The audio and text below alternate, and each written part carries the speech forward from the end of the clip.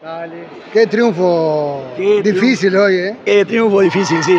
Sí, sí, costó del primer minuto hasta el último porque arrancamos perdiendo, lo plantearon bien el partido, encontraron los goles. Sí, sí, este, nos llenamos de falta, eh, ya jugaba condicionado. Después ellos también llegaron a la, falta y bueno, está, y ahí invocamos dos por lo menos. Después cuando lo, damos vuelta al partido parecía que, que estaba dominado este, no es por los jugadores que entran, pero a veces si no mueve el banco se te cansa lo que tenés adentro y mueve el banco y, el jugador que entra no porque sea inferior ni nada, pero entra mal y, se desordena. Costó, pero bueno. Fue un partido muy lindo, muy emotivo, de los más disputados que hemos visto hasta ahora. Y bueno, está, entonces que sea, que haya sido desprolijo y cargado de errores, eh, que sea disputado y que sea de ida y vuelta también es vibrante y bueno, y también se disfruta. Eh, que lo está mirando afuera, no, yo no lo disfruté mucho. No, no, te, te, te vi muy nervioso por el momento. Al margen del triunfo, de, los dos puntos. ¿Qué rescata del equipo hoy?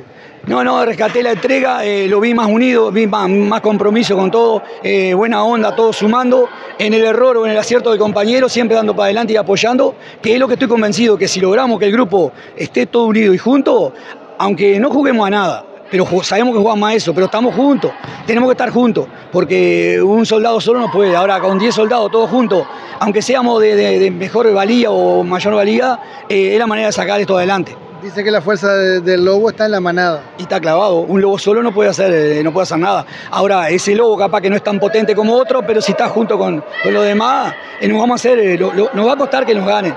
Y vamos a tener que trabajar mucho, este, a tener que trabajar mucho, tener mucha humildad, mucha autocrítica de parte del técnico primero, que es el responsable, y también de los jugadores cuando le dé la posibilidad de, que entren, de ver eh, lo bueno que hacen y, también ver a veces lo malo que hacen, lo que es lo que se equivocan. Muchas gracias. Estamos a la orden, estoy un poco efusivo porque lo vivo demasiado al partido.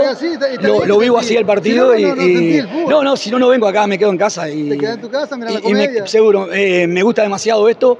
Le, pongo no comedia no miro, pero igual eh, le pongo demasiadas ganas y, es la manera, es la manera que tengo de vivirlo al fútbol. Bueno, muchas gracias a ustedes por estar siempre apoyando acá al fútbol. Gracias, Vamos arriba.